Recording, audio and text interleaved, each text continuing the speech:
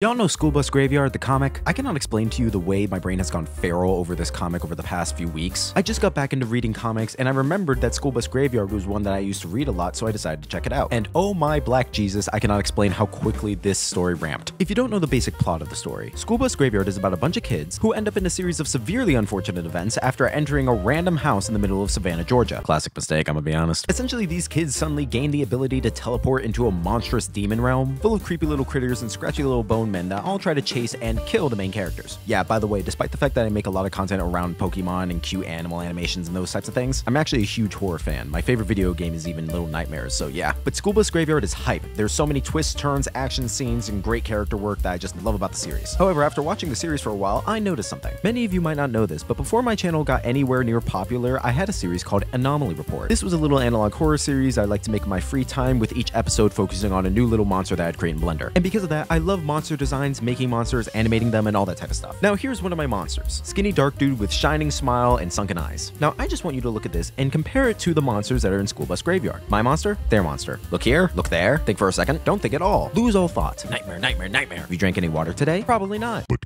Watching. Then look back to the two images. So yeah, I just noticed I basically designed a monster extremely similar to the nightmare creatures that are in School Bus Graveyard. It immediately gave me the idea of making a live action version of the series. However, I have neither the funds nor the buses to be able to make that possible. So who knows, maybe in the future. Anyway, it's a cool series and you should go check it out. It's free to read on Webtoon. I'm not sponsored, I'm just broke and really wish I was. Okay, I think that's all I got for now. Bye-bye.